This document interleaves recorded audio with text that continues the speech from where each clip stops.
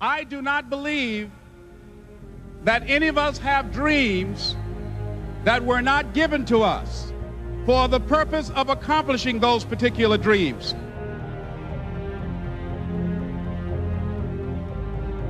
If you feel you have something to give, if you feel that your particular talent is worth developing, is worth caring for, then there's nothing you can't achieve.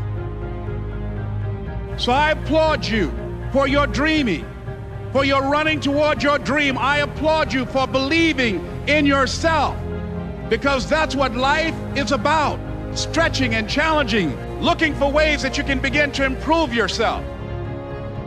Not only is it possible for you to have your dream, but it's necessary. It's necessary that you go for what is yours in the universe. Logical, practical thinking says you can't do it today.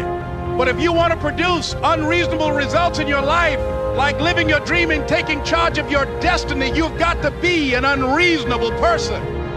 When you grow up, you tend to get told that the world is the way it is. Your life is just to live your life inside the world, try not to bash into the walls too much.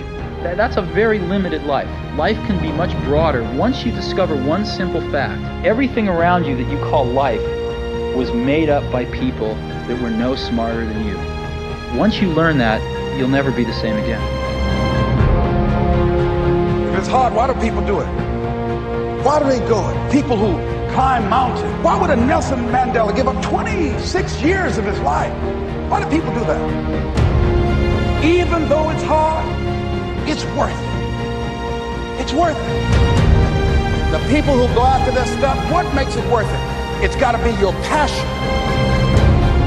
You got to love it. It's got to be what you are supposed to do. You do what it is you're supposed to. You're supposed to build something. You're supposed to create something. I don't know how to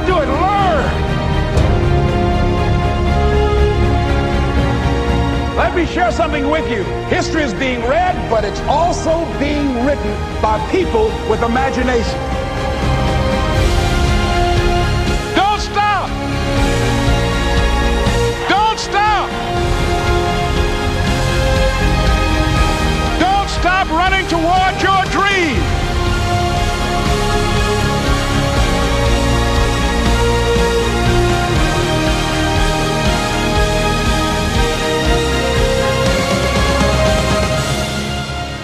Our deepest fear is not that we are inadequate. Our deepest fear is that we are powerful beyond measure. It is our light, not our darkness, that most frightens us.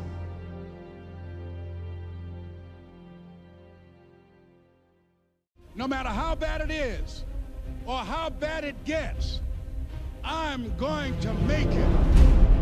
Live your life with passion, some drive.